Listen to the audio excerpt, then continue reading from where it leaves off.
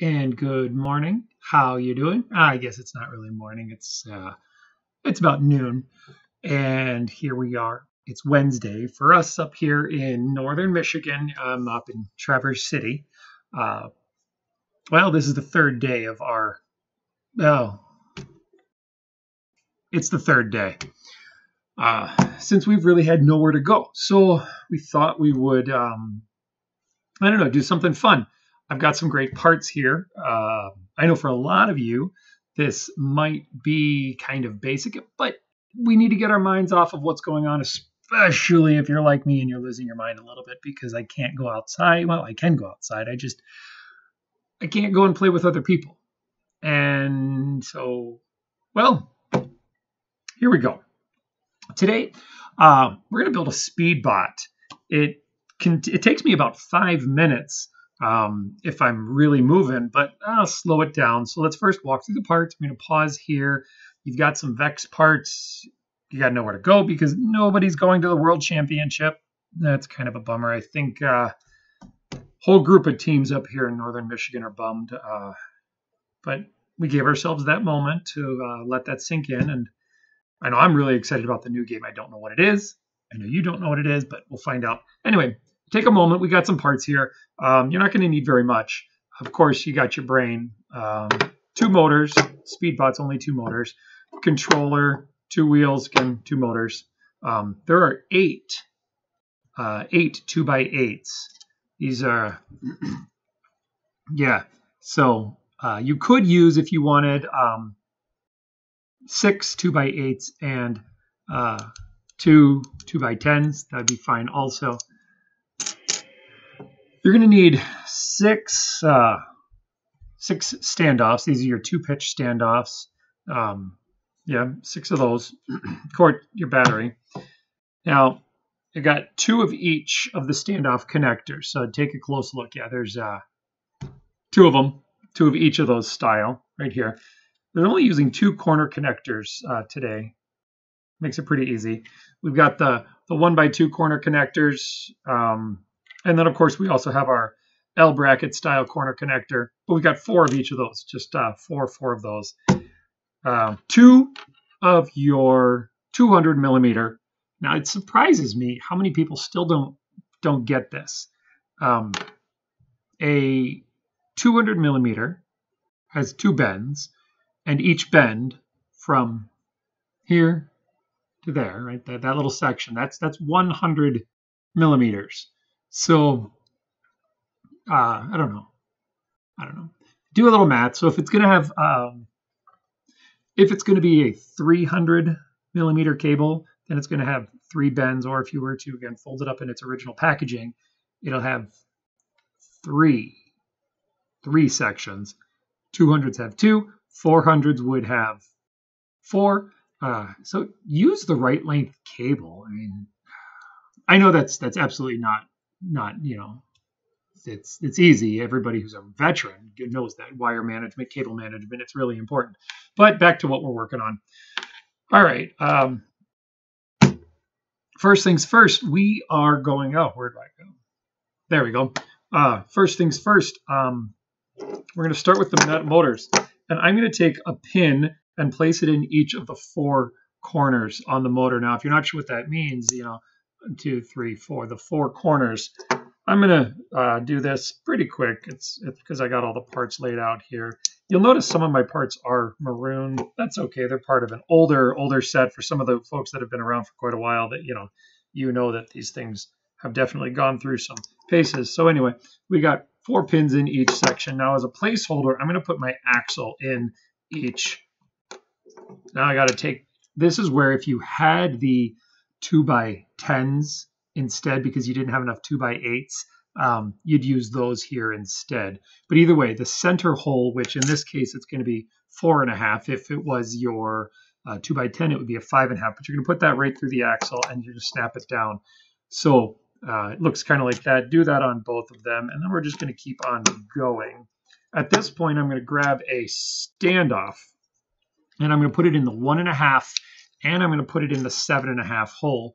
Now, some of you are going, wait, one and a half, seven and a half. I don't get that. How does that work? And let me count it out for you.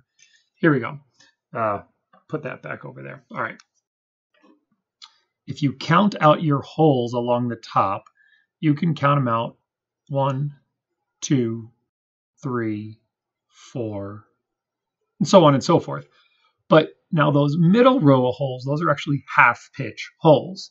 Again, it's one of those points that just um, I don't know, somehow it gets missed when we dive right into competition. So this is kind of fun. So if I were to ask for hole two and a half, two and a half, well, you'd go count one, you go to two, then you go to three, but well, two and a half has to be between two and three. So it's got to be that hole right there. Now that's not the hole we actually want. We want hole one and a half. Uh, so we're going to back that up one. That was hole one and a half. So it looks kind of like this. We're going to flip that back down to our table view. All right. So continuing back on with what we've got, uh, I'm now going to make a little shish kebab. I've got two different styles of, I've got my spacer and I've got my rubber shaft collar. Uh, my spacer is going to go on first. I'm going to put one of those on each of the thing. I have two of them. Then I'm going to drop a wheel onto there. This is a point when if you're working with some new kids, they're going to be tempted to push it, roll it. They're going to do all sorts of crazy things with it, and you know what's going to happen if you're a veteran. And you're going to tell them this, and they're not going to listen to you. And the wheels and the parts are all going to go rolling across the table, especially that little spacer. Anyway. And then, of course, the other thing we're always going to hear the kids doing is racing these things around and around. They're going to go crank on them. And yeah, slow is okay. But I like to try to say, you know what? This is not um, a Tonka truck. It's not a Tonka truck. So don't treat it like a Tonka truck. While uh, these motors, let's talk about this. These motors can handle quite a bit of, uh, you know, seven volts. I don't know. Let's see. What is this? Battery say? Ooh, it just got dark. Oh, there we go. That's better. Ah, these batteries say right on them, really close. Uh, that's a 7.2 volt battery. So it can, you know, these motors, we, we, they should be able to handle that much. But if I really crank on this thing and get it going and you know, I could probably generate upwards of 10, 11 volts. That might be enough to make me lose my mind. Certainly enough to make the uh, little piece of firmware in here, this little memory chip in here that helps keep track of encoder rotations, revolutions, speed. Certainly enough to make that lose its mind. So uh, don't crank on the motors. All right, so where were we? Oh, yes, we're making a little shish kebab. Now we are going to go ahead and use these parts right here. The Not those. There's a difference. There's a difference. One of these things is not like the other. Okay, back to okay. So anyway, that is going right on there, just like like that. So okay, so those you know if you, if you missed it, I, I took those and I put them on there. Now, if you really want to work on your friction, you would do this in reverse order. But now I'm taking my rubber shaft collars and I'm putting them on there. And again, don't pick it up. You're going to be tempted to. You're going to be tempted to push it, but it's not going to stay put until, of course, you take your other two by 8 and snap it on. Axle goes through the center hole. Just like that, axle goes through the center hole, just like that. And voila, we now have a right side and a left side. And eventually they're going to go all around. And anyway, okay, you're not interested. That's fine lose my mind a little bit. I've been inside for too long, and while I love my children, I'm sure for those parents sitting out there, we love our teachers even more. Yes. Yes, we do. Okay. Continuing. Okay, now we got to build some front and back bumpers, so I'm going to take those and just set them aside. All right, this this next little uh, fun part, I'm going to take another 2 by eight. Now these ones have to be two by eight, so you've already used your two by twelves, right? Uh, two by twelves have already been used. Or no, two by elevens. No, I've been inside for too long. Two by tens, if you had wanted to, you could have uh, making this inner one or that outer one a two by ten, and it'd be just fine. Okay, make a little L in each corner. I'm going to go pretty quickly. We got to, of course, do this twice. Uh, now, Corey, if you want, you can go find sort of instructions. oh, I don't think I have enough blue pins. That's kind of embarrassing. I dropped some on the floor earlier today. I wonder where those went. Well, found one. Hmm. I'm going to need another blue pin. I know. I'm to steal one of these. I don't know. Sad. I don't think my daughter will mind. We're not going to Worlds. I'm sure a lot of you have already taken your stuff apart. What are you to do? Anyway, I got my blue pen. Okay. All right. So anyway, we got we got to get two of these pieces with the with the L's. Uh, so one, two, three. Oh no, are you kidding? Am I still short another blue pin? I sure am. I did not do a good job at counting out my parts. All right, we'll uh, well, well, take another one off of. Uh, so, how many of you were completely wrecked? I mean, you went to your state championship. Maybe, maybe you didn't. Um, you went to some awesome other championships, and some of you even got your state championships canceled. Ouch! That's uh, that would hurt. Um, absolutely. I feel for you. Now I've got enough pins. Uh, we did get our all of our state championships up here in uh, the north. That was pretty great. I'm using my two by uh, one by two corner connectors now, and they're just snapping right on here. And I'm going to do that to both sides. Our uh, Michigan Elementary VEX IQ State Championship, it was amazing. It was awesome. I, I mean, I, I guess I, I, can say that I was kind of the guy running it. This next step is a little bit weird. Um, this would be correct uh, there, there's a way to do it right and a way to do it wrong. Again, I'm going to pause there. Our state championship, though, was was really really great. 120 teams, elementary and middle school, two days. We were at a uh, resort which had a water park and a water slide. That was a blast. So I was really glad, I guess, that we got to do that um, for the for those kids because, well, gotta say, it, it complete complete bummer again. Sucks. I also happen to mentor a FIRST robotics high school team, and yep. And I happen to work with a group of elementary Odyssey of the Mind kids, and uh, they didn't go to states either.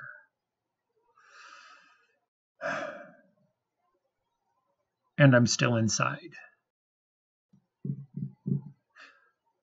Nice thing about the North northern Michigan, I've got some great parks, a lot of beach, not many people. Kind of nice. Anyway, let's continue on. All right, so lastly, we need to make some uh, sort of kickstands, if you will. Um, these guys are going to go underneath. Now, you would be tempted on the bottom side of your bumper to put it in the center hole, and that would be wrong. Uh, that would be wrong. Instead, um, you see there actually there's going to be a, wire that's that's going to be obnoxiously in the way. So we'll actually just do that later. All right, but with your next piece, uh, we're going to attach it. Check that out right there. Isn't that nice? Yeah, that's, that's a good looking part. Anyway, we got to do it to the other side also. Uh, be sure you don't put them on backwards. I mean, by backwards, um, let's see, I can't even figure out. Well, that would clearly be backwards. Um, and this actually also would be backwards. If you notice, we got a nice flat edge on this side, but on this side we kind of, well, we don't. So that's that's definitely not not right. Um, anyway, do that twice. All right, so, ooh, my table changed. That's an interesting view. Huh. I couldn't tell you why that camera angle changed. And the picture slowed down. That's weird. I'm watching my fingers in slow motion. Anyway, um, do that twice. I don't know if I like that. I heard this little GoPro camera beep. I feel trippy. I mean, I'm spinning it really nicely in my hand, but the GoPro is like lagging. Wow. Anyway, we are like almost done. Uh, at this point, I've got my, my brain and one of those bumpers, and you got these two two small pins that are just sticking out. We're going to snap those in on either side. I'm then going to take my motors.